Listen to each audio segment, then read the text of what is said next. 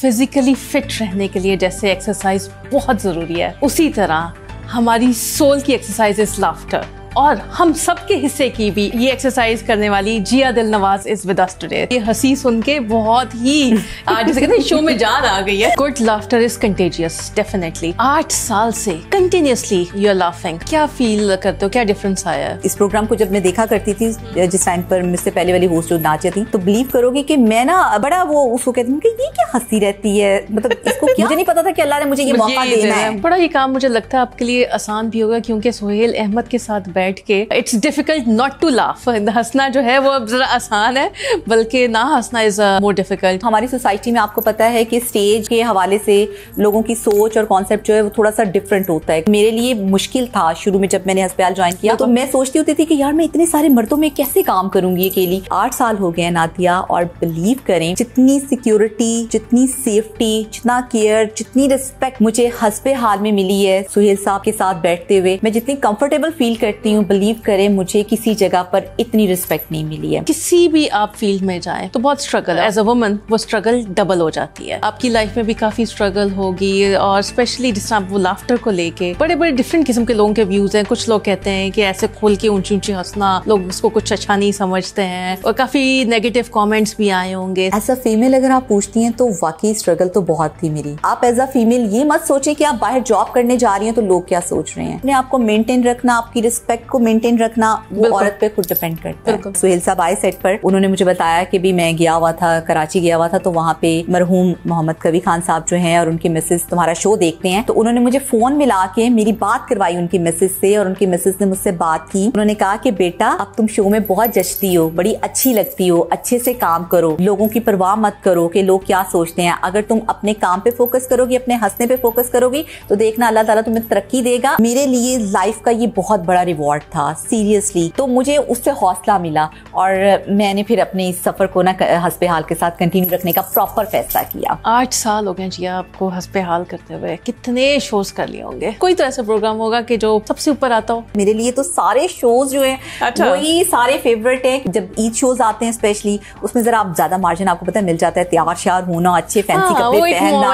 अजीब सा एक बना होता है बिल्कुल और चीज़ होती है क्योंकि नॉर्मल शोज़ में तो आपको तो सिंपल तैयार होकर जाना पड़ता है। जी ऐसा नहीं है कि लाइफ में कुछ भी फ्रस्ट्रेटिंग ना हो। वट यू फील क्या ऐसा करना चाहिए लाइफ में लाइट रहने के लिए खुश रहने के लिए? मैं आपको ये नहीं कहूँगी कि आप गलत पर आवाज़ ना उठाएँ इग्नोर कर देना चीज़ों को ज़्यादा बेहतर होता है। यही बेहतर है कि आप अपनी लाइफ में चलें अपनी लाइफ को देखें अपनी फैमिली को देखें। जी एनी हिडन टैलेंट जो हमें नहीं पता अभी तक कुछ तो होगा। इस फ़ील्ड में कुछ ना कर रही होते तो मैं सिंगर होती। ब्यूटीफुल मेरे सामने रहना जाना नहीं।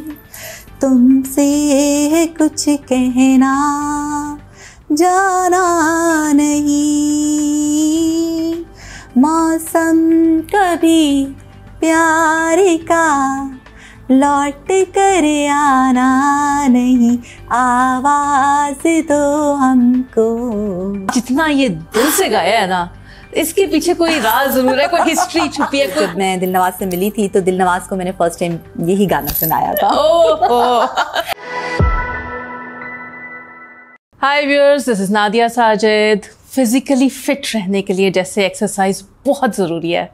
उसी तरह हमारी सोल की एक्सरसाइज इज़ लाफ्टर और हम सब के हिस्से की भी ये एक्सरसाइज करने वाली Zia Dil Nawaz is with us today अस्सलाम जिया हाउ आर यू वालेकुम अस्सलाम. Thank you so much Natia. आपने मुझे इनवाइट किया. और ये जो आपने बात की ना कि जो लाफ्टर है वो बहुत ज़रूरी है सीरियसली पहले मैंने लग, मुझे लगता नहीं था कि हंसना जो है वो इतना ज़रूरी है लेकिन जब से हस्पताल में आई और हंसना शुरू किया है ना तो अब मुझे लगता है कि वाकई ये एक आपकी एक्सरसाइज है जिससे आपके ये लंग्स और ये जो आपका ये फेस है ना ये वाकई फिट रहता है. ये हाँ, बहुत लेकिन मैंने सोल की एक्सरसाइज है उसके बारे में में भी हम बाद में बात करेंगे कि किस तरह से आपको फील हुआ that you feel better from inside और कैसे आप खुश रहना शुरू हुई उसके बारे में बाद में बात करते हैं। First of all thank you so much for taking out time बहुत अच्छा लग रहा है आपसे मिलके और ये हँसी सुन के बहुत ही जैसे कहते हैं शो में जान आ गई है शुरू में। थैंक यू सो मच मुझे वैसे मेरी हँसी से बैठी हूँ सिंपल तो वाकई कोई पहचानता नहीं है मोस्टली जब कभी बाहर होती हूँ। हम्म। लेकिन जब किसी बात पे हंसती हूँ तो सीरियसली लोग तब पहचान ओ आप तो वही नहीं जो प्रोग्राम में हंसती हैं आपकी हँसी उससे बहुत मिलती है। एकदम से तो मैं इनकार कर देती हूँ लेकिन फिर जब मैं कहती हूँ कि यार अच्छा नहीं लगता बता देने जब मैं बताते जी मैं वही सही सही सही बहुत अच्छा लग रहा है आज आपसे मिल के और आपकी हँसी सुन के। और जैसे मैंने पहले कहा कि हम सबके हिस्से की भी आप एक्सरसाइज ये कर लेती है। अल्लाह ताला ने मुझे एक मौका दिया है सीरियसली क्योंकि कभी कभार ऐसा होता है कि जब कभी लोग मुझे मिलते हैं ना तो मुझे कहते हैं कि मिस हम शो देखते ज़रूर हैं लेकिन आपकी हँसी सुन के ना हमारी हँसी ना भी निकले तो निकल पड़ती है। हम खुश होते हैं और हँसते हैं।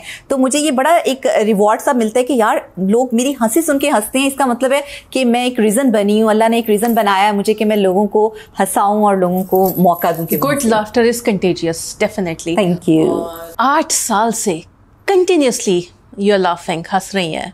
एज अ पर्सन उस पर अगर आप देखो खुद को क्या फील करते हो? क्या डिफरेंस आया है? बेसिकली तो नादिया मैं थी न्यूज़ से मेरा ताल्लुक था मैं न्यूज़ रीडर थी। बिल्कुल। और एक दो चैनल्स निजी चैनल्स पे मैं न्यूज़ किया करती थी तो वहाँ का तो आपको पता है इन्वायरमेंट बिल्कुल और तरह का है उसमें क्योंकि न्यूज़ बिल्कुल आपको संजीदा होकर पढ़नी पड़ती हैं उसमें आपका किसी किस्म का कोई वो मूड नहीं होता जो यहाँ पे हंसबे हाल में होता है।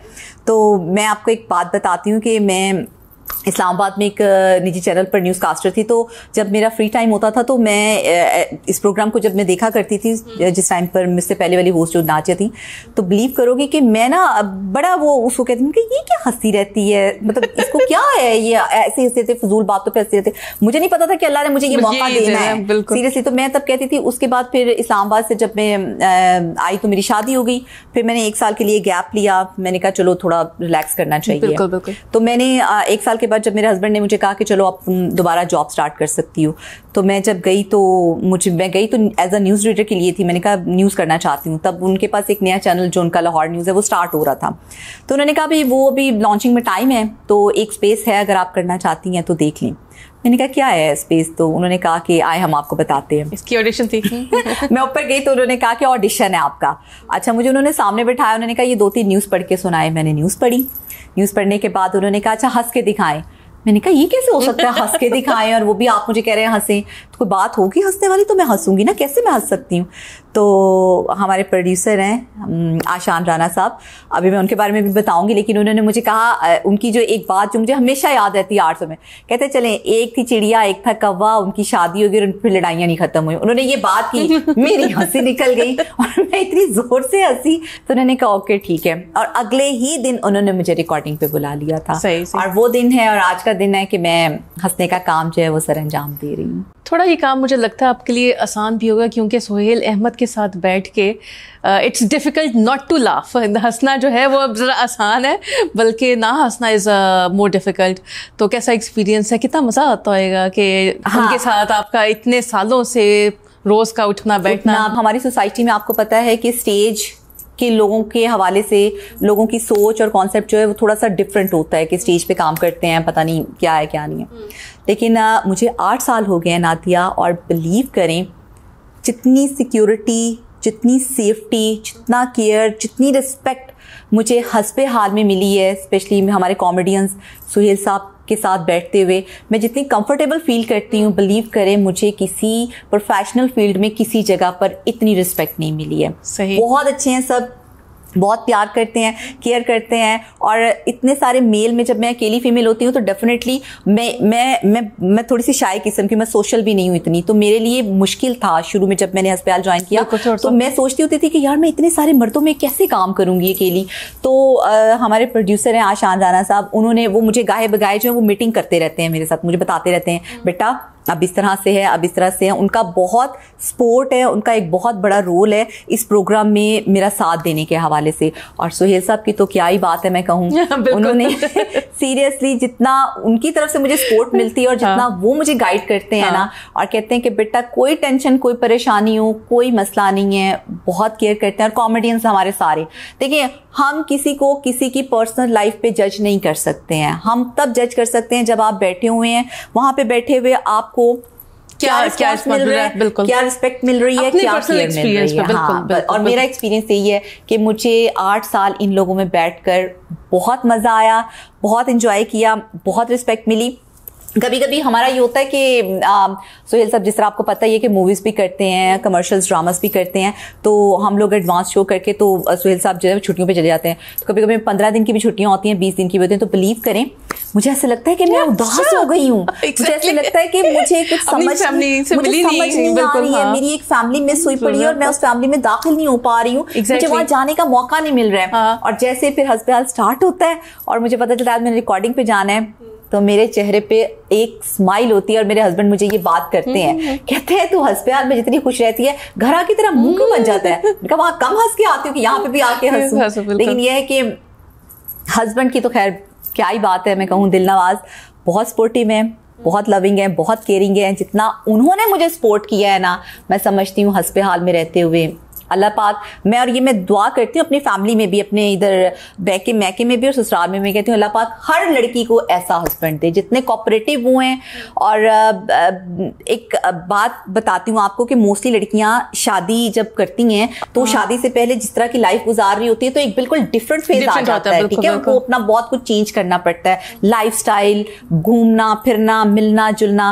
लेकिन नादिया मैं ये बात सीरियसली कह रही हूँ अपने हस्बैंड के हवाले से कि मैं बिल्कुल वैसे ही लाइफ गुजार रही हूँ जैसे मैं शादी से पहले गुजार रही कोई चेंज नहीं मेरे हस्बैंड जितना ट्रस्ट मेरे पे करते हैं कहाँ जा रही हूँ किधर जा रही हूँ मैं मुझे परमिशन ही लेनी पड़ती है मुझे सिर्फ़ उनको बताना, बताना पड़ता है कि दिल मुझे इधर जाना है तो वो कहते हैं ओके ठीक है जाओ। दिल मुझे ये ये काम है ओके ठीक है। उन्होंने आज तक कभी मुझे ना रोका टोका है फैमिली में मिलने से या कहीं आने जाने से। और मैं अल्लाह पाक का जितना शुक्र करूँ वो कम है कि मुझे दिल नवाज़ जैसा हस्बैंड मिला। ज़िंदगी में बहुत डेफिनेटली अपने अच्छे काम किए होंगे क्योंकि ऐसा हस्बैंड मिलना इज़ वेरी एक्सेप्शनल हाँ बिल्कुल। अच्छा, अच्छा जिया बड़े ही मज़े की आइडियल जॉब है आपकी। लेकिन आपकी खुद माशाल्लाह बेटी है अभी चार साल की। हाँ बेटी को या बेटी की फ्रेंड्स को किसी को बच्चों को बताना हो कि जी मामा क्या जॉब करती है? तो किस तरह डिस्क्राइब करेंगी?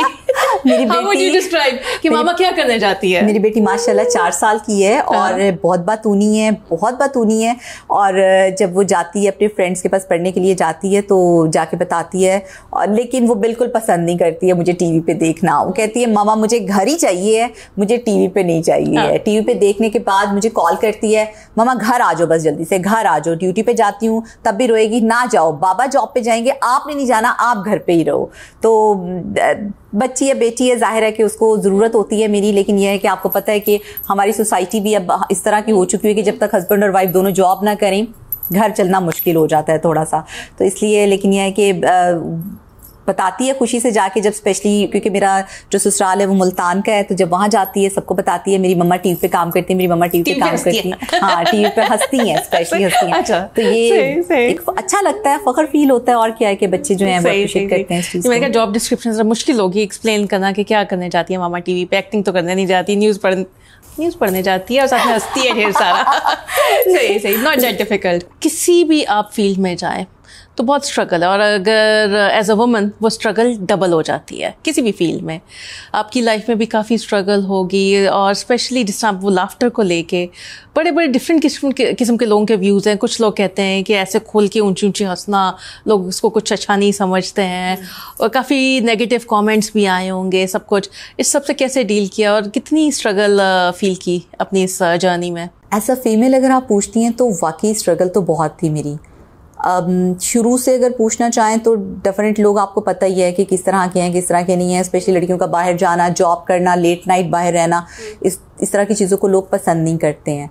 लेकिन आ, मैं इस चीज़ को यहाँ पर ये कहना चाहूँगी कि आप एज अ फीमेल ये मत सोचें कि आप बाहर जॉब करने जा रही हैं तो लोग क्या सोच रहे हैं।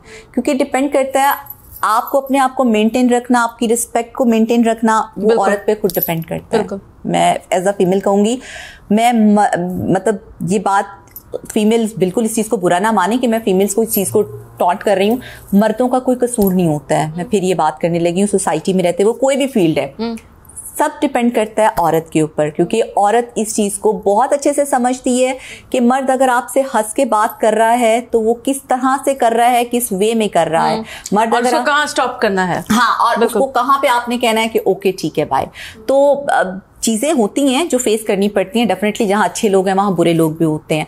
तो मैं ये नहीं कह रही हूँ कि सारे एक जैसे लोग थे। मुझे और अल्लाह पाक का शुक्र है कि अगर मैंने अपने आप को मेंटेन रखा है ना उस एक फ़ेज़ में उस एक चीज़ में तो अल्लाह पाक ने मुझे बहुत अच्छे लोग दिए हैं और मुझे किसी किस्म का प्रॉब्लम फेस नहीं करना पड़ा। इसलिए मैं ये कह रही हूँ मैं ये नहीं कह रही हूँ कि भी बिकॉज़ यू एक्टेड स्मार्टली हाँ अच्छा। तो अब आप आप खुद अच्छे रहें तो मेरा ख्याल है सब कुछ ही अच्छा रहेगा। ये एक चीज़ होती है कि आपकी पर्सनैलिटी पे ये चीज़ बहुत काउंट करती है कि कहाँ पर आपको चुप रहना है और कहाँ पे आपको बोलना है। बिल्कुल। ठीक है? हाँ। अगर आप बोलने के वक्त पे चुप हैं हम्म। तो गलत है। और अगर आप चुप रहने के वक्त बोल रहे हैं कि जहाँ पे आपको चुप रहना है और बोल रहे हैं बोल रहे हैं बोल रहे हैं तो भी एक गलत आपका जो इंप्रेशन है वो लोगों पे आई थिंक ये सिर्फ़ वही नहीं आपकी पर्सनल लाइफ में भी आपकी फैमिली लाइफ में भी ये बहुत इंपॉर्टेंट रखता है। बिल्कुल फैमिली भी आपको पता ही है। हस्बैंड के साथ कहाँ चुप रहना कहाँ बोलना है। आपको बड़ा सोच समझ के। लेकिन मेरे हस्बैंड मुझे अक्सर ये बात करते हैं कहते हैं हमारी मैरिड लाइफ जो है ना वो कामयाब इसलिए जा रही है कि तुम बोलती रहती हो और मैं चुप करके तुम्हें सुनता रहता हूँ अच्छा, इसलिए हम कामयाब सबको ऐसा ही लगता है ऐसा होता नहीं है। अच्छा नेगेटिव कमेंट्स की मैंने बात की तो बहुत से नेगेटिव कमेंट्स भी आते होंगे कि एक ही कर दी पे ये दिस दैट किसको कैसे डील किया? जब uh, मैंने नया नया ज्वाइन किया था हंसपे हाल डेफिनेटली आपको पता है कि इस प्रोग्राम को शुरू करने वाली नाजिया थी और मेन बंदा ही वही थी ना। तो जब मैंने इसको ज्वाइन किया तो मुश्किल था और तब तो मैंने खुशी खुशी में कहा कि चलो मैं ना अपने कमेंट्स वगैरह जो हमारे देते हैं देखने वाले हैं फेसबुक पे यूट्यूब पे तो मैं देखती हूँ। लेकिन जब मैंने कमेंट्स देखे तो मुझे अफसोस भी हुआ इस चीज़ का और दुख भी हुआ कि यार किसी को रिप्लेस करना किसी की जगह पर बैठना वाकई मुश्किल है। और इसके लिए आपको टाइम लगेगा इसके लिए आपको अपना इमेज बनाना पड़ेगा इसके लिए आपको अपने लाफ्टर्स को बेहतर करना पड़ेगा इसके लिए आपको टीम का हिस्सा बनना पड़ेगा। हम्म। ठीक है तो वो मैंने पूरी स्ट्रगल की और इन अल्लाह पाक का शुक्र है कि अब लोग जो है वो मुझे जानते हैं और जब मैं कभी कहीं जाती हूँ तो लोग पहचानते भी हैं और रिस्पेक्ट भी देते हैं। अच्छा नादिया, इस हंसपे हाल की जर्नी में मैं एक चीज़ ज़रूर शेयर करना चाहूँगी, क्योंकि आपको पता है कि जिस तरह मैं बता रही थी कि रिप्लेस करना किसी को बहुत मुश्किल होता है और मुझे इस चीज़ में बहुत सारी चीज़ों को फेस करना पड़ा। तो मेरे लिए एक सबसे बड़ा रिवॉर्ड जो था ना इस चीज़ के लिए कि सुहेल साहब आए सेट पर तो उन्होंने मुझे बताया कि भी मैं गया हुआ था, कराची गया हुआ था तो वहाँ पे मरहूम मोहम्मद कवी खान साहब जो हैं और उनके मिसेस तुम्हारा शो देखते हैं। उस टाइम मैं नई नई आई थी, एक दो साल ही हुए मुझे हुए थे तो उन्होंने तुम्हें बड़ा अप्रिशिएट किया है। तो उन्होंने मुझे फ़ोन मिला के मेरी बात करवाई उनकी मिसेस से और उनकी मिसेस ने मुझसे बात की। तो उन्होंने कहा कि, बेटा, अब तुम शो में बहुत जचती हो, बड़ी अच्छी लगती हो, अच्छे से काम करो और लोगों की परवाह मत करो कि लोग क्या सोचते हैं। अगर तुम अपने काम पे फोकस करोगी, अपने हंसने पे फोकस करोगी तो देखना अल्लाह ताला तुम्हें तरक्की देगा, अपने काम पे ध्यान रखो।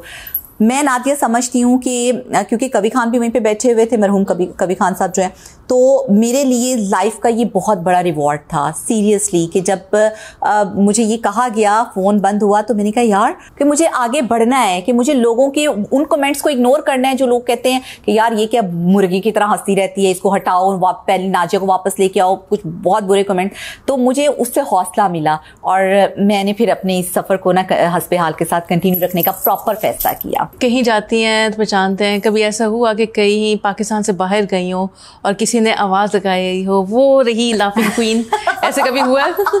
मैं एक बात बताती हूँ कि मैं शॉपिंग कर रही थी तो अरे मेरे लिए एक ही चीज़ बड़ी हैरान कन होती है कि मेरा प्रोग्राम मोस्टली बुज़ुर्ग लोग देखते हैं। सीरियसली अच्छा। जितने बुज़ुर्ग होते हैं ना चाहे वो मुझे किसी भी जगह वो कहते हैं हाँ हम आपको जानते हैं यंगस्टर्स हाँ। इतना नहीं मुझे पहचानते हैं और ना ही जानते हैं। तो जब मैं एक शॉपिंग करने के लिए गई तो वहाँ पे एक सेल्समैन जो थे वो एक बुज़ुर्ग इंसान थे। तो अभी मैं बिल्कुल सिंपल थी मैंने मेकअप भी नहीं किया हुआ था। तो मैं उनके साथ बार्गेनिंग कर रही थी तो मेरी हँसी निकल गई। तो मुझे हँसते हुए कहते हैं अच्छा वो तो नहीं है जो टीवी पे आती हैं। तो अब वो बुज़ुर्ग थे मैं उनसे इनकार नहीं कर सकी। मैंने कहा जी अंकल मैं वही हूँ। तो उन्होंने मुझे डिस्काउंट दिया अच्छा खासा। तो मैंने कहा नहीं अंकल मुझे डिस्काउंट नहीं चाहिए। कहते नहीं बेटा ये हमारा लगा हुआ है इसीलिए आपको दे रहा हूँ और वैसी कोई बात नहीं लेकिन आपसे खुशी हुई मिलके मुझे। हम्म, हम्म। तो लोग अच्छा रिस्पॉन्स भी देते हैं। अब तो खैर बहुत अच्छा देना शुरू हो गए हैं ऐसी बात नहीं है। लेकिन शुरू शुरू में रिप्लेस करना किसी को जैसे मैंने बताया था मुश्किल था तो लेकिन अच्छा फील होता है अच्छा फील होता है नोन एज लाफिंग क्वीन बिल्कुल। सीरियसली अगर खुद को खुद कुछ टाइटल देना चाहो तो क्या देना चाहोगे? लाफ्टर क्वीन है जो कि मुझे सारे कहते हैं और ये सुन के मुझे वाकई बहुत अच्छा लगता है। हाँ। मतलब अब जब ये सारे कहते हैं ना कि लाफ्टर क्वीन मतलब हंसबे हाल की लाफ्टर क्वीन तो मुझे लगता है कि मुझे यही टाइटल जो है वो सूट करता है। हम्म। मतलब ये आठ साल मैंने यहाँ पे गुजारे हैं तो मुझे लगता है कि ये एक तो क्वीन ऊपर से लाफ्टर दोनों ही बड़ी खूबसूरत चीज़ें हैं। आप मुझे लाफ्टर के साथ कुछ भी लगा लगाते हैं। लाफ्टर ज़रूर लगना चाहिए बस ये एक ज़रूरी चीज़ दैट्स रियली नाइस अच्छा जी आपका जो प्रोग्राम है हंसबे हाल उसमें बड़े मज़े का वो जो आपका सेगमेंट है उसमें एक बहुत बड़ा क्रेडिट ये भी जाता है कि वो जो न्यूज़ जो पिक की जाती हैं जी जी जी। बड़ी इंटरेस्टिंग होती है। वो कौन पिक करता है? आ, वो तो हमारे रिसर्चर्स जो हैं वही रिसर्च बट उसको जिस तरह से आप प्रेजेंट भी करते हो वो वो बड़ा ज़बरदस्त वो स्टाइल होता है। हाँ वो उसमें बहुत हद तक जो मुझे गाइड करने वाले हैं वो सुहेल साहब खुद हैं। और कभी ऐसे उनको लगे कि भाई ये इस बच्ची ने लाइन नहीं सही पढ़ी क्योंकि मैं आपको बता रही हूँ कि मैं एक न्यूज़ रीडर थी और न्यूज़ रीडर ने क्या करना होता है? प्रॉम्प्टर से सीधा सीधा न्यूज़ पढ़नी होती है। उसमें वेरिएशन ये वो ज़ोर ये वो ये सब कुछ सिखाने में हाँ। मुझे वो सुहेल साहब का हाथ है। वो मुझे फ़ौरन कह देते हैं कि बेटा न्यूज़ ने तूने सही पढ़ी दोबारा पढ़ और इस जुमले पर इस वर्ड पर ज़ोर दे। इसको यहाँ पे स्ट्रेस लो इसको यहाँ पे प्रॉपर गाइड करते हैं अच्छा जब वो न्यूज़ सुन रहे होते हैं तो ऐसे लगता नहीं है कि वो पहले इतनी दफ़ा यानी कि वो सुन चुके हैं और गाइड करें उस वक्त ऐसा लगता है कि वाकई उन्होंने अभी अभी सुनी है जो उनका एकदम से वो रिस्पॉन्स आता है ना जिस तरह से वो हैरान होते हैं ये देखें आप के बारे में आप जो बात कर रही हैं अगर वो इस टाइम पर भी आके ऐसा रिएक्शन ना दें कि भाई पता तो उनको होता है डेफिनेटली न्यूज़ पर उन्होंने तबसरा करना है लेकिन अगर वो ये रिएक्ट दे रहे हैं कि मैंने फ़र्स्ट टाइम सुनी है तो ये मैं कहती हूँ तो बड़ी बात है बिल्कुल बिल्कुल बिल्कुल। दी बेस्ट वो कुछ ना भी करें मेरे ख्याल है उनकी वो जो एग्जिस्टेंस की है ना एक और है वो जब बैठे हो तो वैसे ही बंदा ना बस खुश हो जाता है। लेकिन अभी मैं एक बात बताऊँ मुझे हाँ। आठ साल हो गए उनके साथ नादिया लेकिन अभी भी कभी आपने देखा होगा ना डिफरेंट सेगमेंट्स में कभी कभी मेरे साथ भी बैठे होते हैं हम्म, ये मैं मतलब बात कभी करती नहीं हूँ लेकिन अभी भी उनके साथ बैठते हुए ना मेरा सांस ऐसे ऐसे हो रहा होता है मतलब उनकी पर्सनैलिटी अच्छा। उनकी आवाज़ अच्छा। का एक रोब और वो चीज़ है हालाँकि वो मुझे कभी कुछ नहीं कहते ना कभी हाँ। डांटते हैं कुछ नहीं कहा उन्होंने लेकिन उनके साथ बैठते हुए मुझे अभी भी डर लग रहा होता है कि वो सुहेल साहब बैठे हुए हैं उनकी आवाज़ आ रही है ये वो तो मेरे सांस थोड़े थोड़े बंद हो रहे होते हैं लेकिन मैं ऐसे ही कहूँ बहुत अच्छे हैं, उन्होंने कभी मुझे कुछ नहीं कहा है। आठ साल हो गए जिया आपको हंसपे हाल करते हुए। कितने शोज़ कर लिए होंगे? मोस्ट मेमोरेबल किसी भी वजह से, जो मोस्ट मेमोरेबल रह गया हो। कुछ इतने सारे शोज़ किए हैं नातिया कि लेकिन फिर भी अगर आप फ्लैश बैक लो तो कुछ कोई तो ऐसा प्रोग्राम होगा कि जो सबसे ऊपर आता हो इतने सारे शोज़ में मैं अब आपको कैसे बताऊँ कि कौन सा मेरा शो फेवरेट है मेरे लिए तो सारे शोज़ जो है अच्छा। वही सारे फेवरेट है क्योंकि मेरा मैं इनको इंजॉय करती हूँ सबको सबको इंजॉय करती हाँ। हूँ ठीक है और इसमें जब ईद शोज़ आते हैं स्पेशली उसमें जरा आप ज़्यादा मार्जिन आपको पता है मिल जाता है तैयार श्यार होना अच्छे फैंसी हाँ, कपड़े पहनना अजीब सा एक माहौल बना होता है बिल्कुल और चीज़ हाँ। होती है क्योंकि नॉर्मल शोज़ में तो आपको तो सिंपल तैयार होकर जाना पड़ता है। तो ईद शोज़ पे जरा ज़्यादा मज़ा आ जाता है कि गेस्ट भी होते हैं क्वेश्चनिंग हाँ। होती है उनके साथ और बैठना और सजना सवरना ज़्यादा होता है तो हाँ। पता भी आपको होता है कि इट्स स्पेशल ओकेजन तो एक अपना ही एक फीलिंग होती है। जी ऐसा नहीं है कि लाइफ में कुछ भी फ्रस्ट्रेटिंग ना हो। छोटी सी छोटी चीज़। अब घर से अभी बस बाहर निकलो ही ना अभी मेन रोड टच भी ना करो तो कुछ ना कुछ फ्रस्ट्रेटिंग ज़रूर हो जाता है। वट यू फील क्या ऐसा करना चाहिए लाइफ में? लाइट रहने के लिए खुश रहने के लिए काम रहने के लिए कि इंसान क्या करे? किसी भी डिफ़िकल्ट फ्रस्ट्रेटिंग मोमेंट में किस तरह से ख़ुद को मैनेज किया जाए? मैं आपको ये नहीं कहूँगी कि आप गलत पर आवाज़ ना उठाएँ या गलत कुछ हो रहा हो तो उस पर स्टैंड ना करें। लेकिन आम, मैं कहती हूँ इग्नोर कर देना चीज़ों को ज़्यादा बेहतर होता है। ठीक है? देखिए जो हमारी सोसाइटी का टेम्परामेंट हो चुका हुआ है ना जो मुल्की हालात हैं। मतलब अब तो आपको पता ही है जिस तरह अब तो लोग क्या करते हैं मतलब घरों में इवन आप देख लें कि भी कोई पीटीआई का तो कोई मुस्लिम नून लीग का है कोई किसी का तो घरों में लड़ाइयाँ भाइयों में हो रही हैं। रिश्ते नहीं हो पा रहे होते हैं। जी पे मैं मेरा भाई जो है वो दूसरी पार्टी का है तो मैं मैं तो मतलब इस तरह के हालात हो चुके हैं। सीरियसली ये हकीकत है और ये मैंने अपनी सोसाइटी में देखा है। इवन अच्छा। मैंने अपनी फैमिली में भी इस चीज़ को देखा है कि भी दो मतलब लोग जो हैं एक दूसरी पार्टी का और दूसरी पार्टी का तो इसलिए उनमें बहस चलती है और ये बहस लड़ाई तक पहुँच जाती है। और वो लड़ाई फिर आपके साथ इख्तलाफ होता है फिर आप एक दूसरे से बात करना बंद कर देते हैं। अच्छा। ये ये हकीकत है ठीक है तो मैं समझती हूँ जहाँ पे गलत चीज़ होती है उस पर स्टैंड लो बात करो लेकिन अगर आगे वाला आपकी बात को अंडरस्टैंड नहीं कर रहा तो फिर आप इग्नोर कर दो क्योंकि इग्नोर करना ज़्यादा बेटर है क्योंकि अब आपको पता ही है कि ज़्यादा यही बेहतर है कि आप अपनी लाइफ में चलें अपनी लाइफ हम्म। को देखें अपनी फैमिली को देखें बजाय इसके कि आप दूसरों के साथ बहस करें और उनको ये चीज़ समझाने की कोशिश करें कि नहीं भाई भाई आप गलत कर रहे हैं आपको ये सारी चीज़ें नहीं करनी चाहिए मेरा ख्याल है इग्नोर कर देना ज़्यादा बेटर है किसी अपनी खुशी के लिए। बिल्कुल बिल्कुल ज़बरदस्त। जी एनी हिडन टैलेंट जो हमें नहीं पता अभी तक। कुछ तो होगा। ये अच्छा मैं आई कैन ट्राई अगर इस फ़ील्ड में कुछ ना कर रही होती तो मैं सिंगर होती। ब्यूटीफुल मुझे म्यूज़िक आई लव म्यूज़िक। और अ, मुझे अ, गाने का मतलब गाने गाने का नहीं लेकिन मुझे म्यूज़िक सुनने का ना जब मैं बहुत ज़्यादा डिस्टर्ब होती हूँ या बहुत ज़्यादा उदास होती हूँ तो मैं म्यूज़िक सुनती हूँ और मैं रिलैक्स हो जाती हूँ। हंसपे हाल तो है ही है मेरे लिए एक मेडिसिन का Medicine है। बट म्यूज़िक मुझे आई लव म्यूज़िक और मैं मेडिसिन आपने बोला तो मैं I can't stop saying this कि लाफ्टर इज़ अ मेडिसिन हाँ। है ना? आपकी इंटरनल जितनी भी तकलीफें होती है ना Seriously, उसके लिए इट्स अ मेडिसिन बिल्कुल बिल्कुल। बिल्कुल। सही। तो म्यूज़िक की बात कर रहे हो। तो किस किस्म के गाते भी हो घर में इधर उधर? वो मैं, मैं सिर्फ़ बाथरूम सिंगर हूँ। मतलब अपने रूम जितनी सिंगर हूँ सीरियसली मैं इतना ज़्यादा अच्छा गाती लेकिन मैंने बताया कि अगर मैं कुछ ना करूँ तो मेरी बड़ी विश थी कि मैं सिंगर होती। मुझे गाना सुनना और बहुत अच्छा क्यों। विश अभी पूरी क्यों नहीं की जा सकती? है स्टिल यंग टाइम भी है। बहुत बुरी है। ये आप आइडेंटिफाई कर चुके हो? तो ये हिडन टैलेंट तो नहीं हुआ ना? लेकिन मैंने आपको अपनी विश तो बताई ना। तो बता दी, Seriously, अच्छा, अगर मैं कहीं हाँ। ट्रेनिंग कर रही होती तो डेफिनेटली कुछ ना कुछ कर रही कुछ ना कुछ निकल लिया आता लेकिन ये कि भाई हाँ। बस चांस नहीं मिला। रिग्रेट रह जाएगा यू नो हो सकता है मैं दस साल के बाद आपके साथ शो करूँ और पूछूँ कि आपका रिग्रेट क्या है तो यूल से कि मुझे सिंगिंग की ट्राई करनी चाहिए थी। सो इसलिए ट्राई ज़रूर करके देखें। ये लिव की तरफ़ से एक सजेशन है आपके लिए।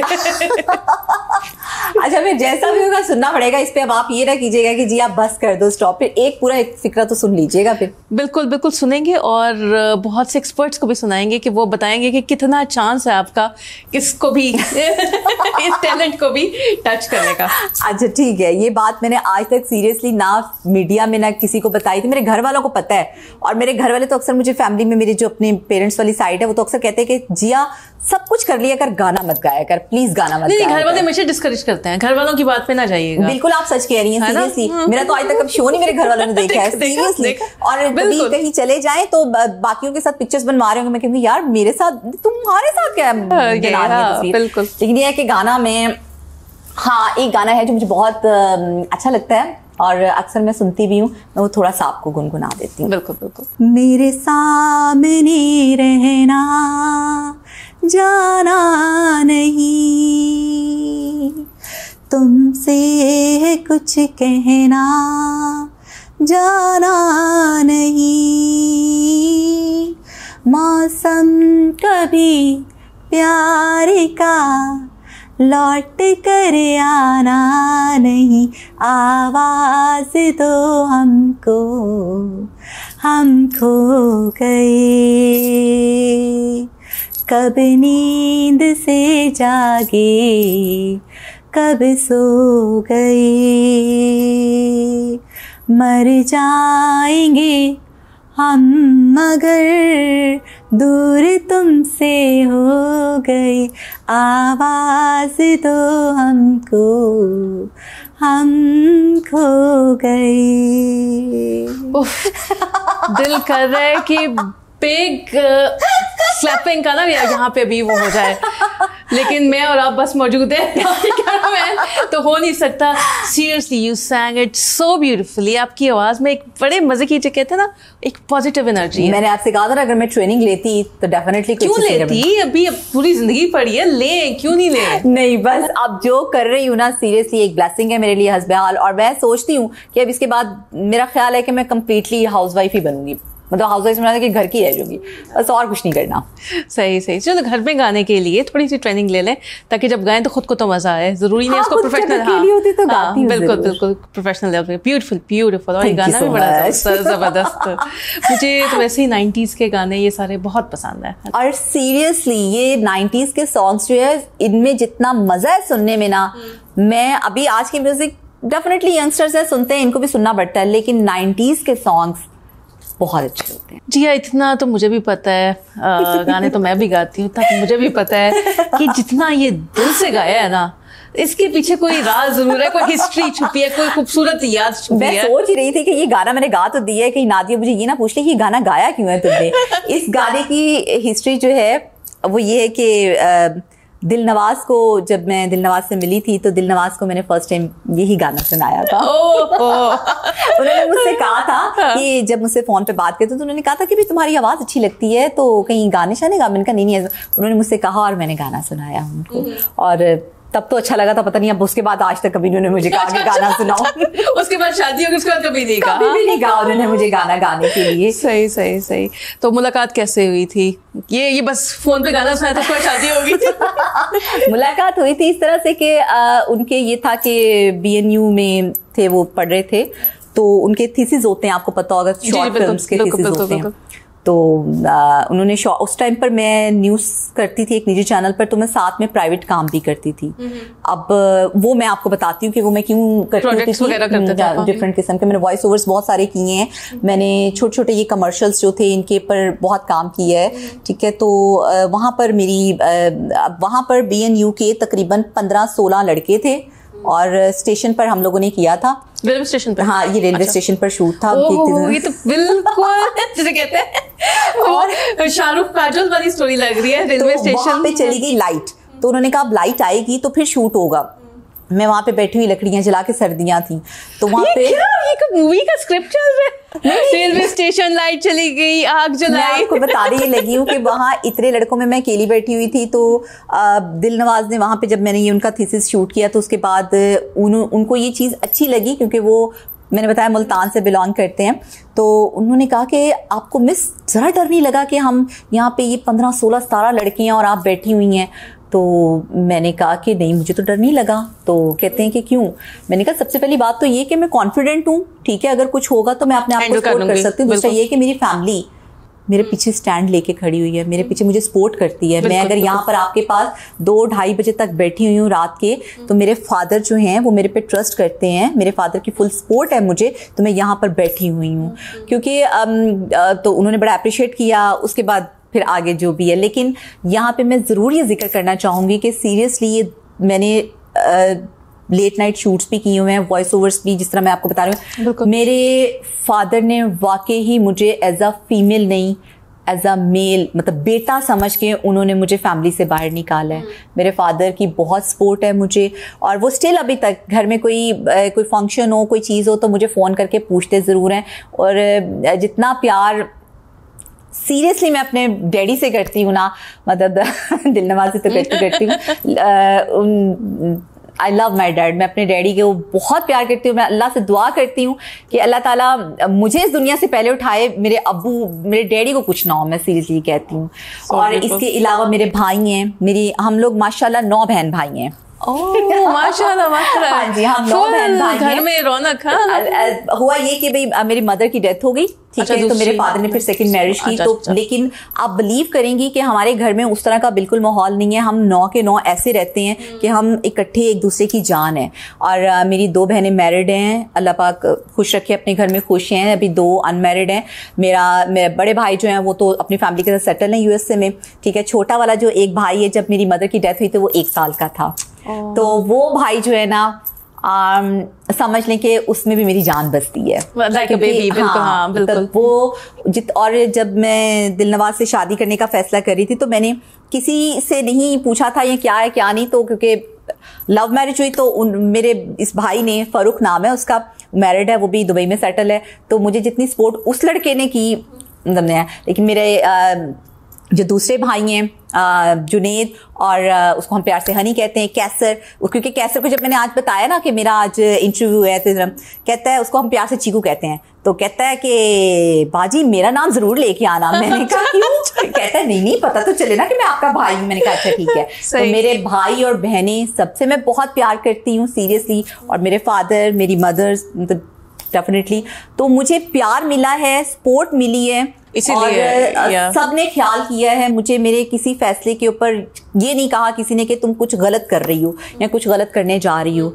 इसीलिए मैं अल्लाह पाक का शुक्र करती हूँ कि उस फैमिली से निकल के मैं अगली फैमिली में अगर आई हूँ दिल नवाज़ के पास तो वो भी आगे से सपोर्टिंग है लविंग हैं, केयरिंग है। और अगर मैं सोसाइटी में बाहर निकली हूँ तो हसबे हाल की टीम वो भी मेरी एक फैमिली है और वहाँ पे भी सभी लोग बहुत सपोर्टिव हैं जिस नेचर की मैं हूँ मतलब उसी नेचर से मतलब मेरे जितने लोग हैं ना रिलेटेड वो मेरे इर्द गिर्द हैं। और इस चीज़ के लिए मैं अल्लाह पाक का बहुत शुक्र करती हूँ। यू आर ब्लेस्ड एंड उसमें आप बहुत बड़ा हाथ आपका अपना भी आप खुद अच्छे रहो तो चीज़ें खुद ब खुद इर्द गिर्द अच्छी भी होना शुरू हो जाती है। अरे शाहरुख खान भी कहते हैं बड़ी बड़ी फेवरेट लाइन है उसकी कि अच्छे लोगों के साथ हमेशा अच्छा होता है। आप बुरा किसी का क्यों सोचते हैं? देखिए आपने किसी का बुरा सोच के करना क्या है? बिल्कुल। आप आप किसी को अपने बारे में सोचो ना कि आपका अच्छा।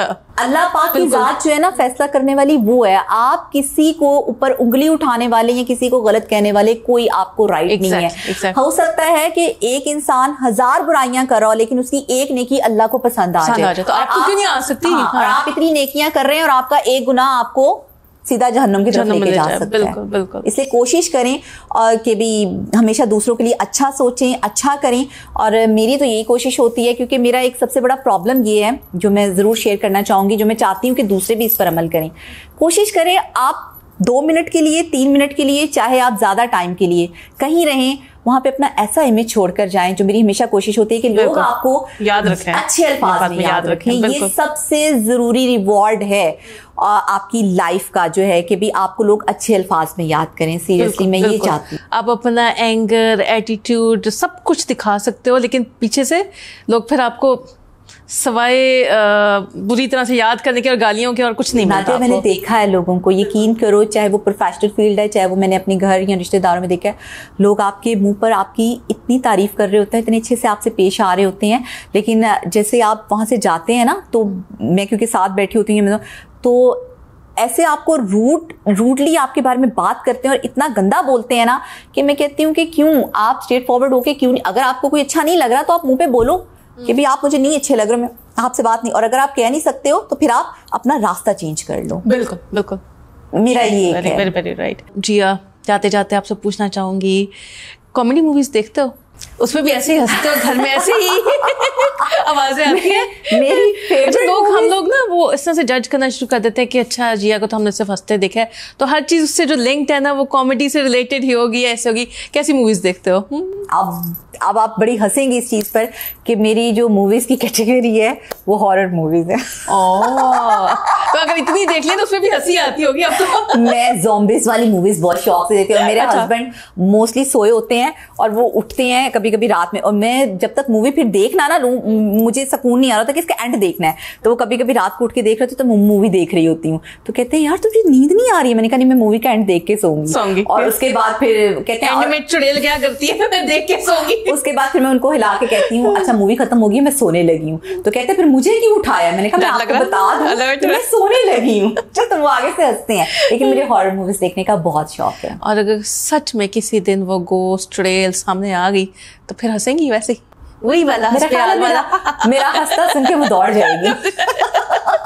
ज़्यादा बुरा हंसती है तो भागो यहाँ से। सही सही बहुत अच्छा लगा आपसे मिल के so good to talk to you सिर्फ़ हमने आपको वो ब्यूटीफुल सी इंटरेस्टिंग सी खबरें पढ़ते सुना था और दिल खोल के हँसते सुना था। तो आज आपसे पर्सनली बात करके बहुत अच्छा फील हो रहा है। बहुत अच्छा लग रहा है। All the best to you और अल्लाह करे जितनी आप अच्छी हैं अल्लाह करे आप हमेशा ऐसी ही हंसती रहें। थैंक यू so चाहे वो आप शो पे हो चाहे आप कहीं अपनी पर्सनल लाइफ में हो you always keep on laughing like this thank you so much मैंने बहुत अच्छा टाइम गुजारा और आपके साथ मुझे मिलके सीरियसली बहुत अच्छा लगा। और अब मुझे लग रहा है कि अगर मुझे कोई और बुलाएगा इंटरव्यू के लिए तो डेफिनेटली मैं जा सकूँगी। जाते जाते एज ऑलवेज हम एक छोटा सा मैसेज रिकॉर्ड करवाते हैं।